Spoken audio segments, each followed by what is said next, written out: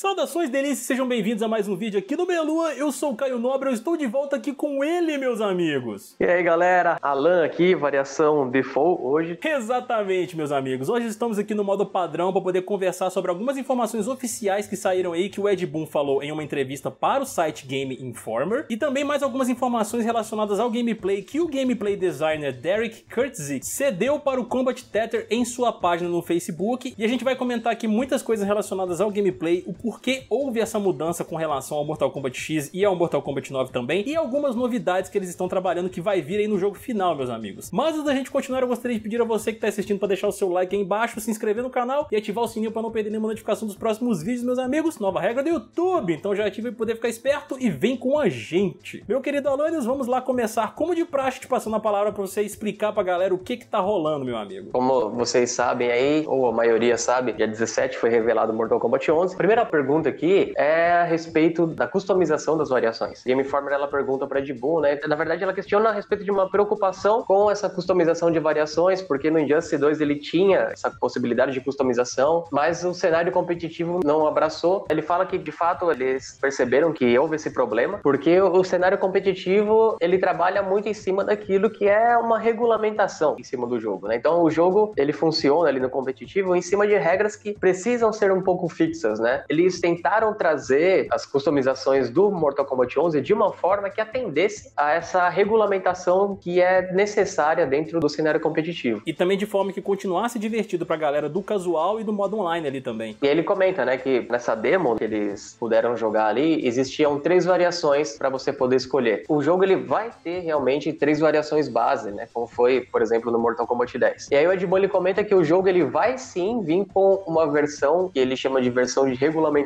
customizações pré-montadas ali. A partir delas você pode criar a sua. Ele vai trazer a customização e aí você vai poder alterá-las conforme o seu gosto. Exatamente. E não vai ter mais aquela questão de você ter que liberar golpes igual você tinha que fazer no Justice 2, por exemplo, aleatoriamente lá jogando no multiverso, né? Aí você vai liberar aquele golpe pro personagem, aí você poderia colocá-lo ali. Não, você não vai precisar fazer isso mais, entendeu? Todos os golpes do personagem vão estar disponíveis em uma lista lá para você poder selecioná-los na sua própria variação. Então isso é uma coisa muito interessante que vai acontecer e não vai ser uma disparidade entre jogadores, vamos dizer assim, tipo, pô, ah, o Alan tem um golpe que eu não tenho no meu Scorpion, então ele tá em vantagem. Não, não vai ser assim não. Todos nós vamos ter lá os mesmos golpes e vai depender da nossa criatividade, do nosso estilo de gameplay para poder montar essa variação aí, entendeu? E complementando o que o Alan falou com relação ao competitivo, de acordo com o que o Ed Boon explicou aqui, a gente entendeu que para o competitivo e pode ser também para as ranqueadas, eles devem utilizar as customizações padrão aí, entendeu? Para os personagens.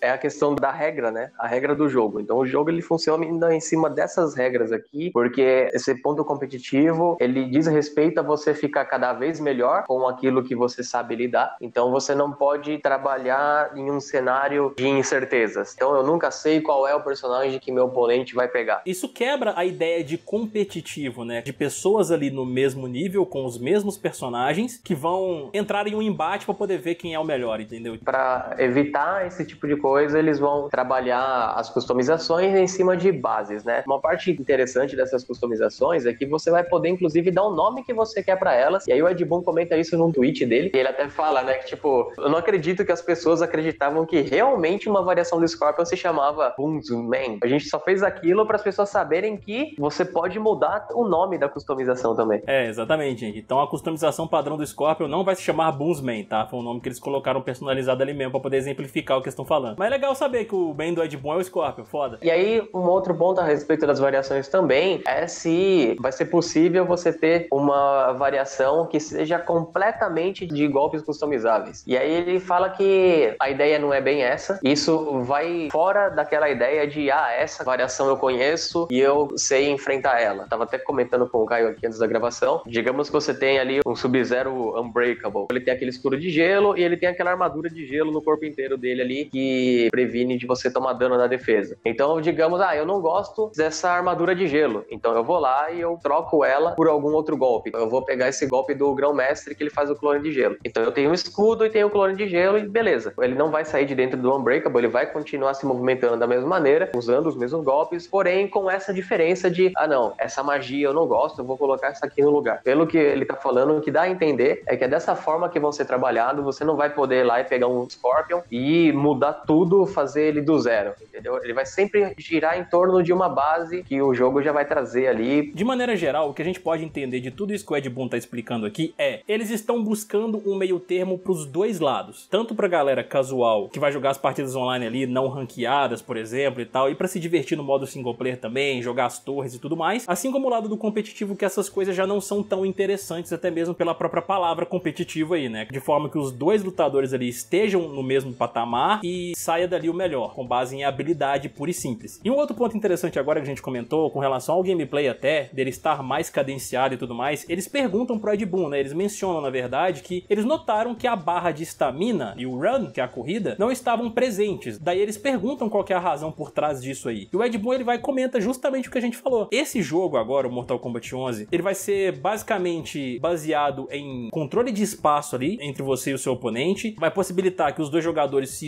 estudem mais antes de efetuar qualquer ação, né? Os famosos futsis também, né, Alanis, aí que eles utilizam. Vai ser aquele jogo mais estratégico e não aquele estilo mais agressivo, igual a gente via no Mortal Kombat X aí, o cara partia para cima lá na loucura, botava pressão o tempo inteiro e o cara lá que tava se defendendo, ele tinha que imaginar, porra, será que o cara vai bater alto? Será que o cara vai bater baixo? Não vai ser bem assim mais o tom. Aí o próprio Ed Boon fala na frase final dele aqui, né? Eles estão segurando um pouco mais essa questão de agressividade agora e partindo para um lado mais estratégico. É, pro cenário competitivo isso é muito interessante. A base do Street Fighter, em geral, sempre foi esse lance dos futsis, né? O que, que é o lance do futsis, né, que o pessoal fala? É aquele jogo mais neutro, onde você fica avanço, recuo tal, esperando o momento que você vai conseguir ter o, o lance do poking também, né? Que você vai sempre dando um golpe para tentar acertar o seu oponente quando ele entra no seu campo de ataque ali. Porque a ideia desse Mortal Kombat não é criar um espaço entre os dois. O Ed Boon comenta que as arenas estão menores, porque o objetivo é você ter um combate mais corpo a corpo. Esse pensamento estratégico, ele é muito legal. Bom, não sei vocês, mas eu gosto muito de jogar dessa forma. Eu gosto muito desse lance de você conseguir bolar um jogo mais inteligente do que decorar meia dúzia de combo e ficar vomitando combo em cima do cara ali toda hora, até a hora que ele cansa de defender. É um jogo mais justo, né? Mais honesto. Exatamente, cara. Eu acho isso muito legal também. E um outro ponto aqui na entrevista que eles perguntam pro Ed Boon, né? Que a gente viu personagens novos aí no Mortal Kombat 10 e eles até comentam que o Mortal Kombat 9 foi basicamente eles recontarem a história aí de uma forma mais enxuta e alinharem alguns pontos que ficaram confusos lá no passado. Aí eles perguntaram qual que é a direção que eles vão tomar aí no Mortal Kombat 11 com relação a personagens. Aí o Ed Boon ele fala que no Mortal Kombat X eles introduziram realmente muitos personagens novos. Aí com relação ao Mortal Kombat 11, o Ed Boon diz que terão sim novos personagens, só que eles vão trabalhar mais na questão do fanservice, cara, que o pessoal tem pedido muito aí para alguns personagens voltarem, visto que o Baraka estará no jogo, né, sendo que ele morreu lá no Mortal Kombat X e tudo mais. Ele até fala que o Baraka foi um que o pessoal ficou putaço de não estar no Mortal Kombat X. Então assim, vai ter personagem novo, só que eles estão trabalhando muito em cima do que os fãs estão querendo. Ou seja, meus amigos, a gente pode esperar sim aí o retorno de um noob, retorno do Smoke, até mesmo da Milena, cara, que tá todo mundo aí preocupado da não aparição dela e tudo mais. Pode ser que ela retorne sim, com linhas temporais, tudo é possível. Aquele que a galera pesa em cima, são personagens que você não pode tirar do jogo. Pelo que ele falou aqui, provavelmente a gente vai ver tudo isso de volta. E algumas informações, meus amigos, lá no The Combat Tether, né, que o gameplay designer passou para eles assim, diz respeito a alguns outros recursos relacionados ao game que teremos. Nós vamos ter a volta dos Kitalites, que eles ainda estão trabalhando nisso. Ele não explicou bem como que isso vai funcionar. O jogo não vai ter loot boxes, né, que são aquelas caixinhas, eram as caixas mãe no Injustice. Não vai ter isso. A moeda do jogo a gente vai ganhar jogando apenas, a gente não vai ter a opção de comprar essas moedas com dinheiro real, o que é muito bom. E a gente vai ter várias skins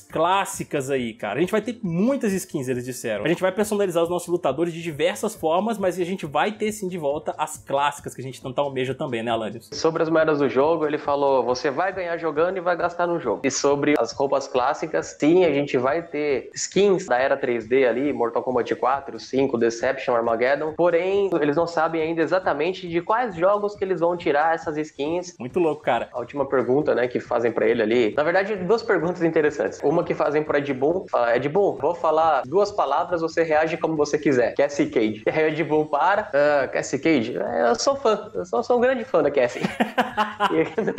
e, e do Derek, por fim, cadê a Melina? E aí ele ri e diz, ela morreu. Mas ele para, ele ri mais um pouco e fala, bom, tem um monte de pessoa voltando, né? Então vai saber. Ele fala que tem um monte de gente morta voltando, então ele não sabe. Mas então é isso, meus amigos. Essas são todas as informações que a gente tinha pra poder passar para vocês aqui nesse vídeo. Espero que vocês tenham gostado. Não se esqueçam novamente também de comentar aqui embaixo, cara, o que, que vocês acharam de tudo isso aí, se vocês ficaram animados com essas informações e principalmente dos personagens, e o que, que vocês acham dessa mudança no gameplay também, como eles estão construindo agora no Mortal Kombat 11. Não se esqueçam novamente também de deixar o seu like aqui embaixo, se inscrever no canal e ativar o sininho para não perder nenhuma notificação dos próximos vídeos, meus amigos. Vamos ficando por aqui. Um beijo, gostoso, sedoso e molhado na popinha esquerda e direita de cada um de vocês. Até mais, e... Fomos!